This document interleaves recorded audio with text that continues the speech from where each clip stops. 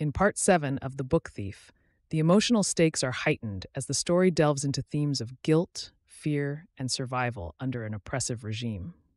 The narrative unfolds with Hans Hubermann's ongoing anxiety after the departure of Max Vandenburg, the Jewish man they had been hiding.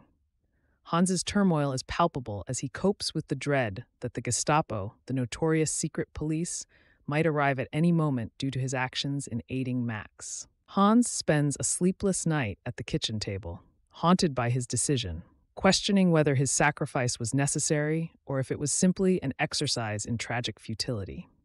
This act of waiting is symbolic of the heavy burden of choice and consequence, underscoring Hans's humanity and his role as a protector, despite his overwhelming feelings of powerlessness. Liesel, meanwhile, finds herself entrenched in the complex interplay between fear and faith. She prays desperately for Max's safety, embodying hope and innocence.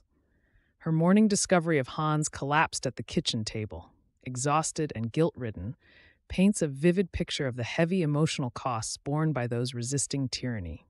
Their relationship evolves in this chapter as Liesel becomes a source of comfort for Hans, mirroring the reversal of roles where the child becomes an emotional anchor for the adult.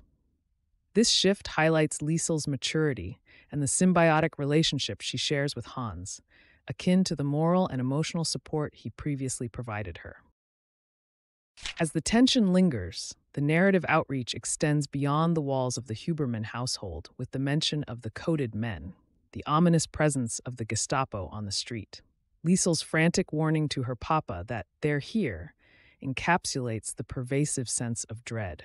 In an ironic twist of fate, their target is not Hans, but Rudy Steiner, emblematic of the unpredictable and impersonal nature of the Gestapo's actions. This incident serves to highlight the indiscriminate cruelty of the regime, as Rudy, a character of pure heart and youthful courage, becomes a pawn in the Nazi machinery.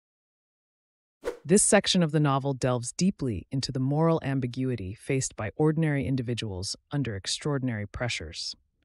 The decisions made by Hans and their aftermath exemplify the internal conflict between doing what is right and fearing the repercussions of those actions. This part of the narrative not only advances the plot, but also reinforces the theme of powerlessness against an encroaching darkness that leaves its mark on every character. Hans's regret and hope that he has not endangered Max unnecessarily add a poignant layer to his character, revealing both his kindness and his despair.